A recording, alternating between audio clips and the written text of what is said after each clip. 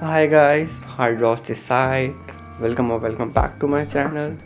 So recently someone reached out to me on DeviantArt asking about that he has been practicing on a regular basis but he isn't seeing any major improvements in his artworks and they look the same as his 3 months old artwork and I kinda looked at his artworks and even though there were some improvement but the level of improvement was not something that uh, you can expect in three months. It was far less than that. And so rather than going all high level intellectual stuff i would like to take a simple approach just like always.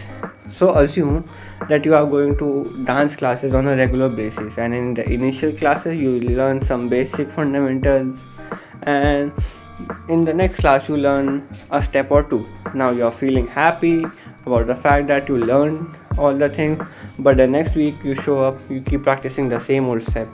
And the next week too you keep practicing the same old step. Now tell me if you are practicing the same stuff every time and you are not trying to push yourself out of your comfort zone because you feel like oh i just learned this step. Now I don't need to learn other stuff and yeah this is my comfort zone and I can comfortably practice these things. Then how are you supposed to improve?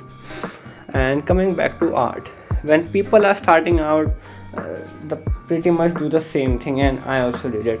I would watch tutorials about how to draw face in 5 easy steps on or stuff like that and I would follow those 5 easy steps.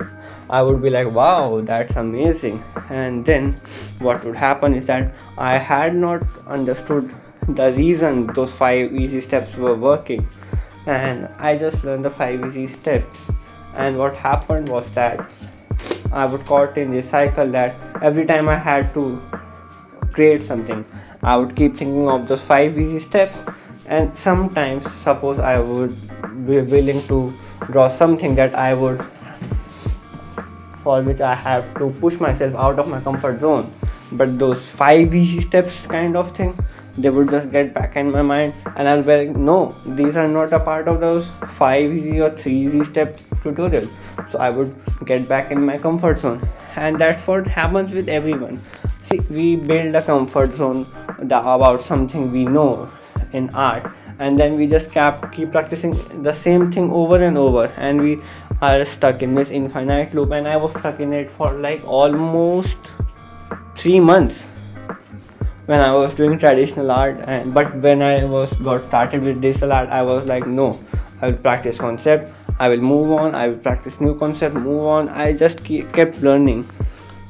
And in reality what everyone needs to do is that open youtube? Watch some fine quality tutorials. It's not like the five steps watch two hour length tutorial where they explain things from the basics.